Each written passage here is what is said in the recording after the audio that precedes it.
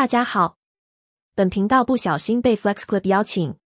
评测这个线上影片制作工具，因为官方免费帮我升级为商业账号，本来想随便制作个约五分钟赞赏的影片，作为账号的交换，后来想想也不能随便就草草了事，于是花了几天研究熟悉 FlexClip，赫然发现 FlexClip 竟然有它厉害的地方。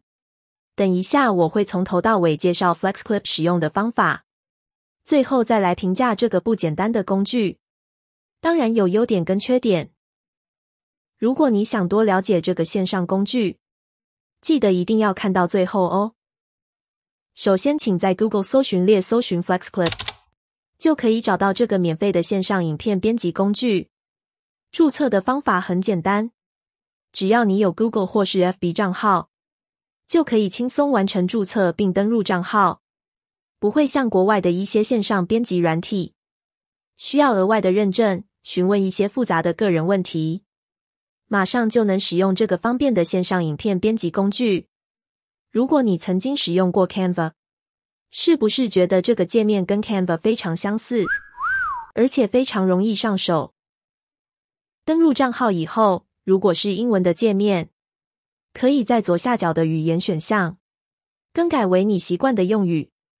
现在我切换官方为我升级的商业账号，左边是工具列，而右边是素材跟对应的工作区。我们发现官方贴心提供了海量的范本，即使你是剪辑的小白，保证十分钟以内就可以完成一部有质感的影片。最快的方法是利用官方提供的海量范本，修改范本的文字。图片、影片，再加上转场的效果，就能完成商业级的宣传影片。编辑的时候不用担心制作的专案会消失不见。FlexClip 每隔一小段时间会自动储存专案，即使没有按下储存的按钮，再次打开专案的时候，专案依然会存在。我想这是官方贴心的设计理念。这是刚刚选取的一个摄影旅行范本。经过更改文字的内容，让影片呈现商业设计的质感，可以说完全不输广告公司的原创作品。所以一旦接触了 FlexClip，我想你应该会爱上它。只要准备一部可以上网的电脑，无版权的影片背景音乐，以及制作影片的素材，就可以发挥你商业级的高质感影片制作了。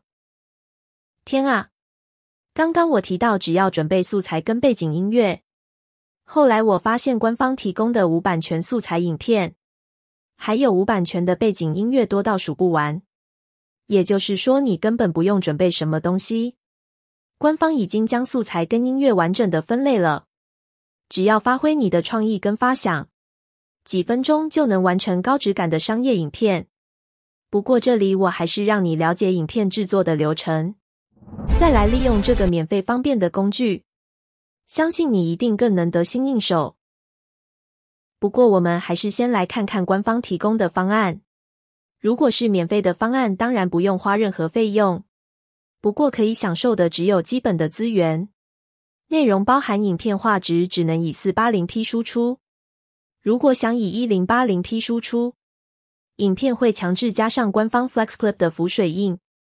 每个专案只能使用一个媒体库的视频，最多可以保存十二个专案，而影片的长度必须在一分钟以内，可以享受三次图片的抠图去背。再来是基础和高级的月缴套餐方案，可以享受的资源相对的提高了许多。这两个方案最大的差别是，影片输出解析度各为七二零 P 跟一零八零 P。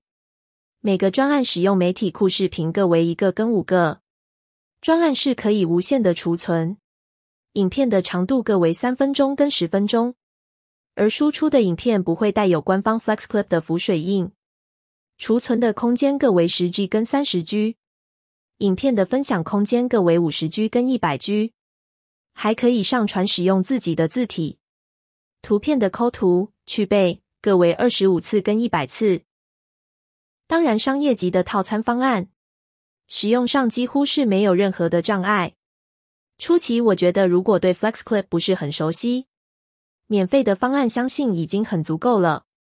一段时间后，如果觉得对你影片制作有很大的帮助，再考虑升级为基础或是高级的套餐方案。官方另提供年缴的优惠方案，约可以省下月缴一半的费用哦。现在我以实际的操作示范，让你熟悉了解使用 FlexClip 的方法。首先，请在左上角按下新建空白工程的按钮，开始创作一部全新的高质感影片。然后选择故事版或是时间轴的模式。如果你是剪辑小白，请按下故事版模式，因为时间轴模式最好有动画的基础，否则影片的制作流程可能会搞混。如果各位对时间轴模式有兴趣的话，请在留言区加一。如果人数够多的话，我再制作一部时间轴模式的教学。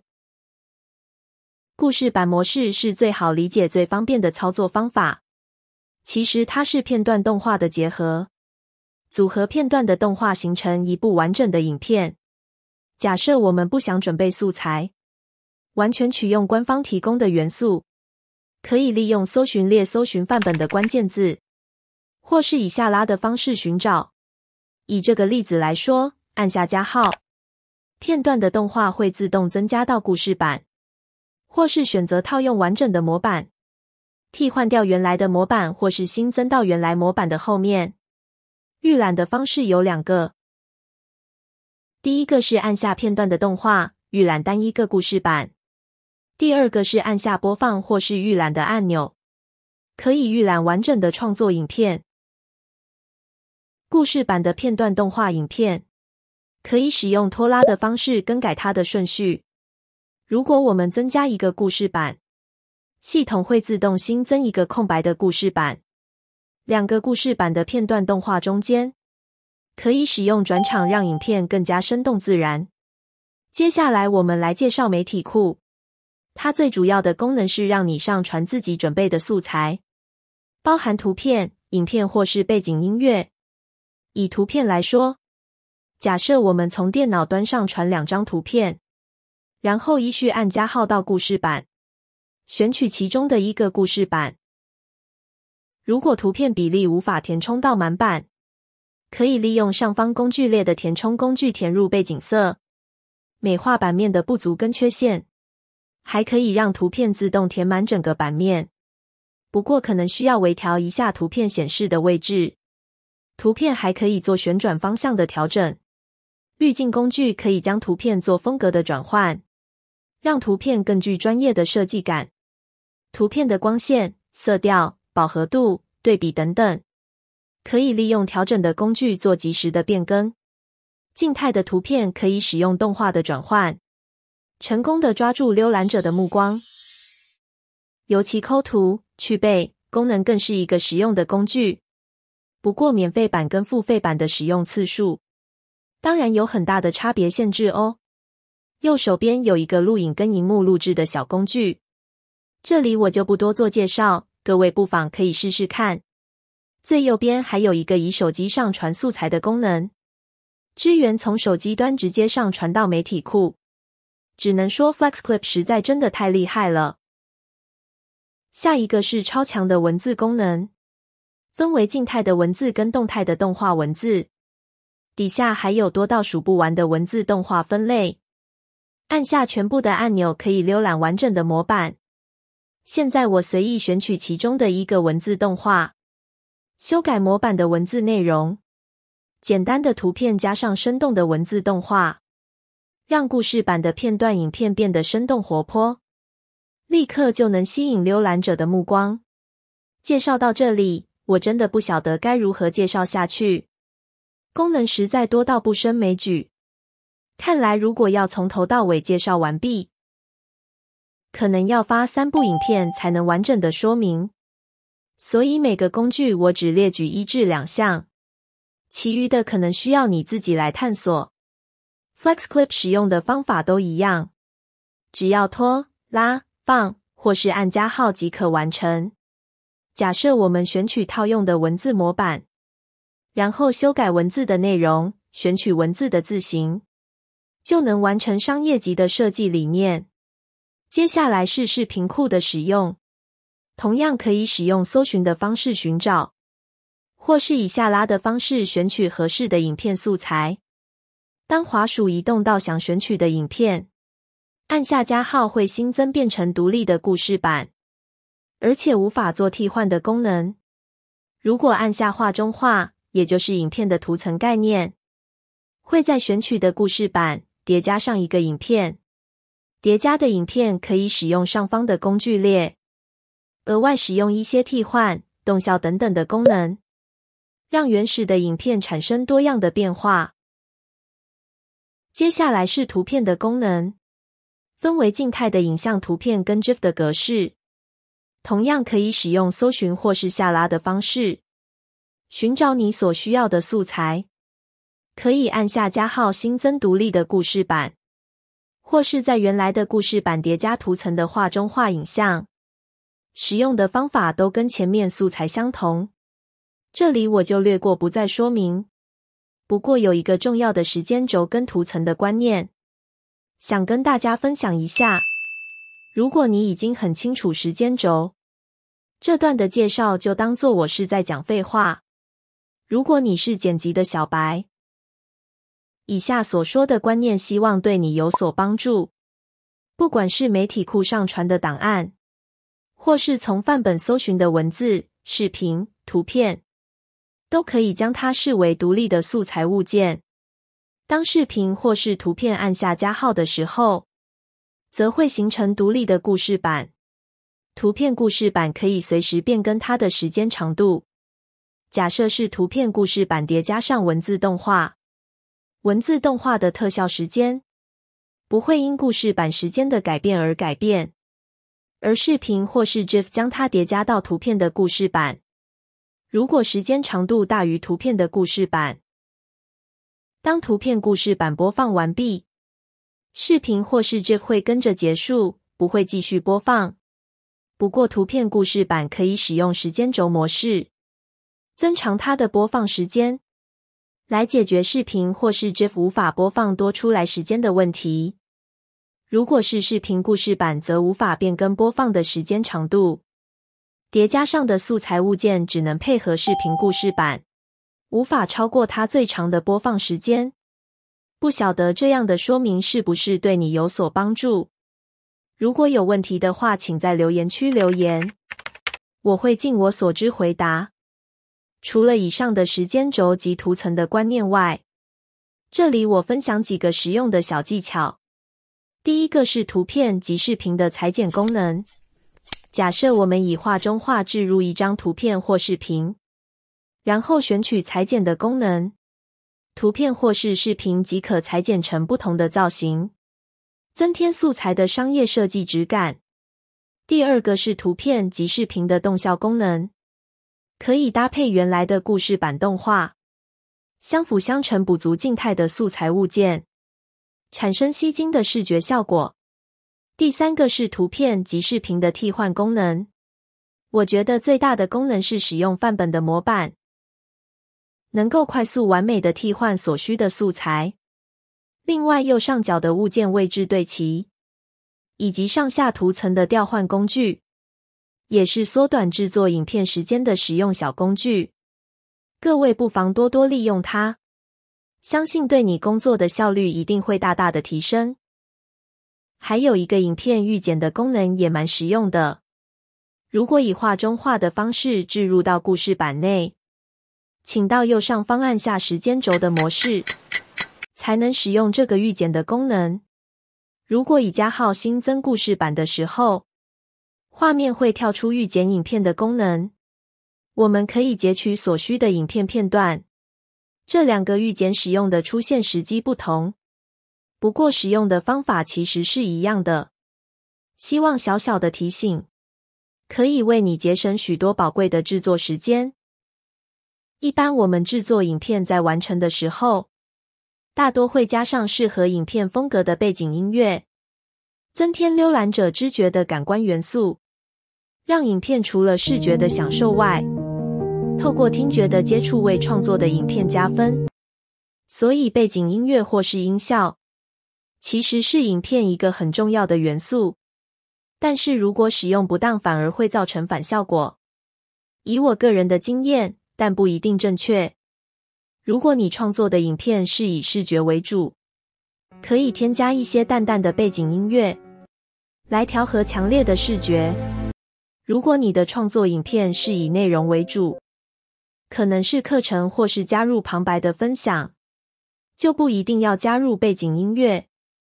而背景音乐的选择跟音量的大小，当然没有一定的原则，也没对与错的问题，要看浏览者的感官感受程度来决定。以上是我个人的意见，仅供参考。如果有什么不对的地方，欢迎各位在留言区给我指教。FlexClip 加入背景音乐的方式有两个，第一个是选取范本来制作影片，完整的范本已经设计加入背景音乐了，只需在工具列搜寻要替换的音乐，然后按下加号的按钮，就会完美的套用到范本了。第二个是自己准备所有的素材跟音乐，先上传至媒体库，再制作影片。不过我刚刚测试的时候，竟然无法上传音乐档。后来发现，原来要新增背景音乐的时候，按下音乐的工具列，在本地音乐的地方，就可以上传背景音乐了。除了上述提到的丰富素材跟功能外，官方还提供了动态跟静态的素材元素。这类的素材，我将它归类为线性元素。比较接近向量的线条表现。如果你曾经接触过绘图软体，应该就不会感觉到陌生了。其实绘图软体都可以制作出这类的动画效果，但是自己动手制作这类的动画，不但耗时，又不一定可以制作出完美的动画。有了这类的素材元素，以后可以不用在网络上搜集了。而且搜集到的素材有可能会有版权的问题，一不小心被版权所有人提告的话，可能会花一笔为数不少的费用哦。我接触过的影片制作软体也不少，像 FlexClip 肯免费提供海量的素材，我想应该少之又少。元素使用的方法很简单，先浏览想使用的元素素材，使用拖拉放。或是滑鼠按下左键，元素就会置入到故事板。除了静态的元素外，自带动画的元素马上可以形成动画。如果应用在商品的促销跟推广，相信会有出其不意的创意广告效果。比较特别的是，滑鼠移到元素的地方，可以预览动画的效果。值得一提的是，提供了造型的遮罩效果。制作商业宣传影片的时候，提高了影片的质感跟工作的效率，是其他的软体无法相比的。遮罩在影片制作的领域里，算是比较高阶的动画观念。不但要有时间轴的基础，还需有动画图层的基本认识，否则绝对无法制作出这类的动画。不过官方已经将它模板化。大方的试出，让你自由的使用。即使你完全不懂时间轴跟动画图层，也能轻轻松松的完成高阶的动画影片。以我个人的影片制作经验，遮罩部分大都制作一些简单的图层动画。如果想制作出像 FlexClip 官方的模板，应该会浪费掉我许多的宝贵时间。我觉得 FlexClip 如果不是慈善机构，就是地球上少有的异类。光是前面介绍的所有海量素材，制作一千部风格不同的商业宣传影片，绝对绰绰有余。如果你是专业的影片创作者，其实可以考虑运用你的专业知识，搭配 FlexClip 模板的素材，每次创作出的广告创意，保证绝对是独一无二的原创。置入的遮罩可以利用上方的工具列，改变动画的大小、方向、颜色、光线、饱和度等等。商业等级的电影质感影片创作，不再是只有大型软体才制作的出来。我想 FlexClip 应该就可以轻松的完成了。背景一般分为静态的图片跟动态的影片。它的作用其实是丰富影片版面的色彩，以及补足动画的空洞，调和视觉的整体表现。最常出现在简单商品促销的商业广告，搭配商品的颜色，强调对比来凸显商品，达到浏览者专注在商品的目的。素材的使用方法都一样，这里我就不再多加说明。接下来要介绍的是浮水印的功能。如果你创作的影片要防止被盗，或是凸显商品的品牌，浮水印是一个很好用的功能。使用的方式有两个，第一个是以文字的方式表现，只要在篮框内输入浮水印的文字，然后选择字形的一些设定，文字的尺寸大小、透明度以及摆放的位置即可完成。另外一个是图片的品牌表现，可以使用绘图软体制作 PNG 的透明图片，按下图片的按钮，上传制作的 PNG 或是 JPG。调整图片的透明度跟摆放的位置即可完成。如果你创作的影片是一个重要的资产，浮水印的大小、位置、透明度的调整就显得格外的重要了。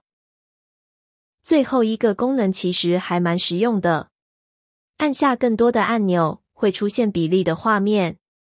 影片如果要分享到不同的社群媒体，FlexClip 提供了不同设备的选择。自动符合你选择的需求。以我个人的测试，只需略作微调，就能完美的达到这个功能的表现了。到此为止，FlexClip 架构已经概略的说明。你一定以为这样是不是已经结束了？当然，FlexClip 隐藏的功能还有许多，需要你去熟悉跟探索，才会发现其中的秘密。现在，请将滑鼠移到 FlexClip 首页的工具字样。这里还提供了许多蛮实用的影片制作工具，各位不妨可以试试看，应该对你会有很大的帮助。最后，以我个人研究的结果，对 FlexClip 做一个评测。如果评测的优点跟缺点有不同的看法，欢迎在留言区给我建议，我会虚心接受并改进。以下是对 FlexClip 评测的结果：优点有：一、线上编辑，不用安装软体，方便又快速。二、提供海量的素材，不用浪费时间在网络上搜集。三、动画已经模板化，可以缩短影片制作的时间。四、素材、动画、视频等等，接近商业广告的质感。五、支援繁体中文，增加制作影片的方便性。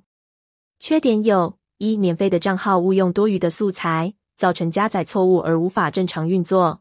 解决的方法是在网址列的地方。将首页后面的删除就能正常的运作，然后删除刚刚新建的工程。我想这应该是系统的小漏洞，官方可以考虑修正这个问题。一，我的建议是，取用素材如果超过账号权限的时候，系统会跳出警告，或是直接跳出升级的提示，才不会造成使用者以为软体不好用而却步。二，媒体库可上传的素材。我发现跟实际可以上传的格式不同。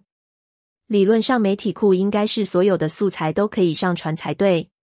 但上传音乐档案的时候，系统跳出格式不支持。于是我按下支持的格式，系统提醒为 AAC、MP3、M4A、FLAC、OGG、WAV，但依然无法上传音乐的档案。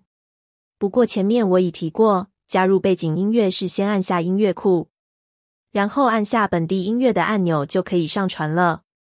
如果官方不支持媒体库上传音乐档案，我想应该将媒体库的功能标示清楚，使用者才会更方便、更喜欢 FlexClip 这个软体。以上是我个人对官方小小的建议。如果说的不对，希望官方来信给我指教。如果你是不小心进来浏览这部影片的朋友。希望你会喜欢 FlexClip 这个免费的线上工具。如果你想购买升级的套餐方案，下方有本站专属的 FlexClip 优惠券，折扣是你意想不到的超级大优惠。先领取优惠码，然后到官方购买，请把握这个难得的机会。同时感谢你观看 FlexClip 的介绍跟评测。那么我们下一部影片分享见喽！